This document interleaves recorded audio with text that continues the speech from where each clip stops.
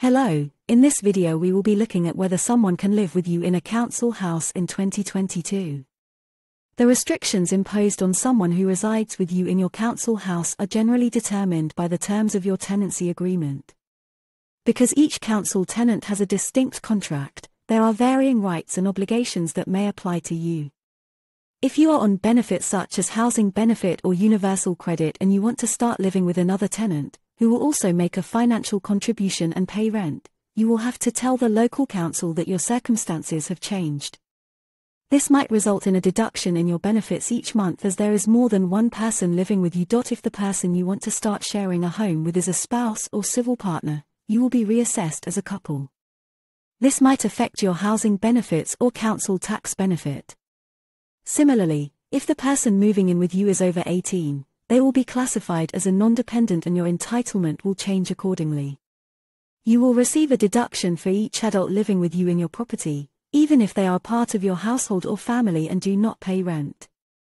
This is because the local council expects that any non-dependent will be responsible for making a financial contribution to the property by paying a share of the rent or tax.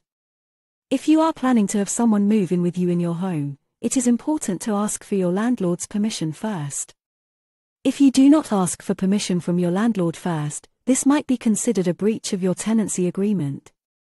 Most tenancy agreements stipulate that you cannot sublet the entire property, however, you may be able to speak to your landlord about your situation. If they give you permission, you can then draw up a new tenancy agreement.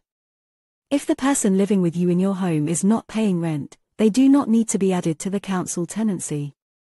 However, this would mean that they would not have any legal rights to the property, and their position will be less secure as they will not be mentioned in the tenancy agreement. If you lived with the person who died for at least a year as their husband, wife, or civil partner and took over a demoted tenancy, you should be able to keep it.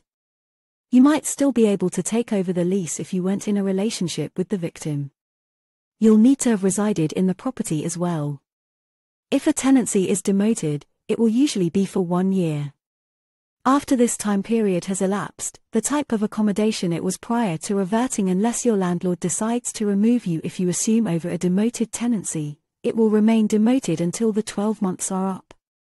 For example, if the lease has been reduced for.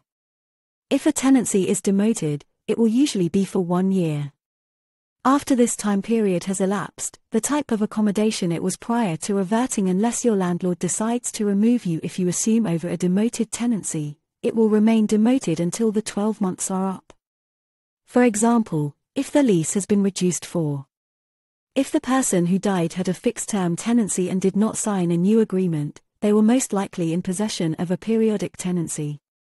You can generally inherit the tenancy and stay in the property if you were the main home of your deceased relative and you were living with them as their husband, wife, or civil partner for at least a year before their death. If the tenancy was demoted, you should be able to assume it back to its original status. But if the tenancy started as a non-secure, this will continue even after 12 months have elapsed. That is the end of this video, but if you would like to read more you can do so on the Help and Advice website.